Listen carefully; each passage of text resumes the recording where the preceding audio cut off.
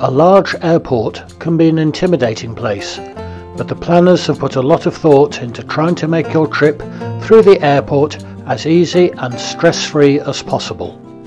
I always like to arrive at the airport in plenty of time. Numerous taxi drivers have told me of passengers in their car stuck in a traffic jam on the motorway watching their flight depart. Particularly Heathrow, if it is a morning flight, many would recommend going the night before and staying in a hotel.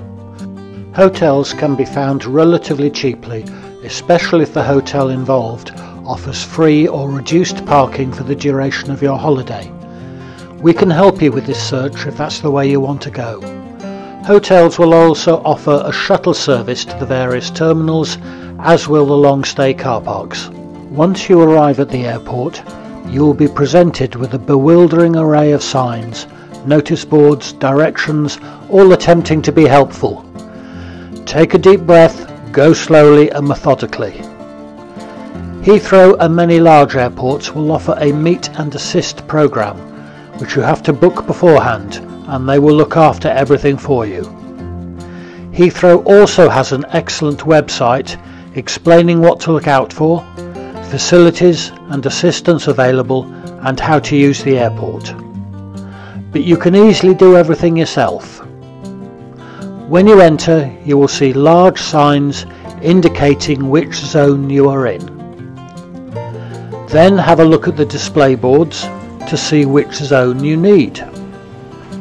In this example, I'm taking flight TG911 run by Thai Airways to Bangkok at 11.50. You can see the check-in for this is Zone A, so go to Zone A. There are usually staff there to help you if you get lost or confused. If you have checked in online and got your seat, then all you have to do is go to the bag drop and get the airline to look after your luggage. Wave it goodbye and you will see this again in Bangkok. Then head to immigration and security. A link to Heathrow's own guide to get through security is here in the top right. Click on that. Once you are through security, you will be in the departure lounge